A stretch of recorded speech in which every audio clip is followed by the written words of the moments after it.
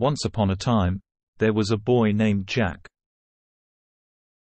Jack loved playing video games, watching TV, and hanging out with his friends. He spent most of his time doing these activities and didn't pay much attention to his parents. One day, Jack's father fell ill and had to be hospitalized. Jack was shocked and worried about his father's health. He realized how much he loved and cared for his parents.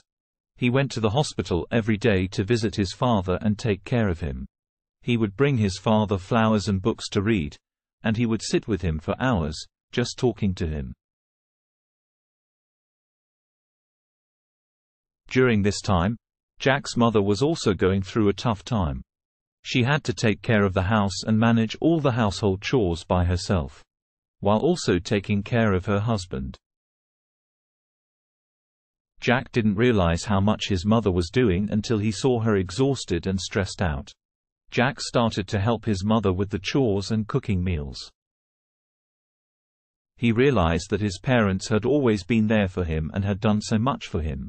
They had sacrificed their time, energy, and money to provide him with a comfortable life. But he had taken them for granted and had not appreciated them enough. As his father's health started to improve, Jack's parents were thrilled to see him changing. They were happy that he was finally understanding the value of family and the love and care that parents give to their children. Jack's father was finally discharged from the hospital, and the family returned home.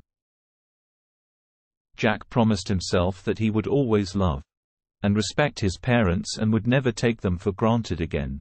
He started spending more time with them, listening to their stories, and learning from their experiences. The moral of the story is that we should always love and respect our parents.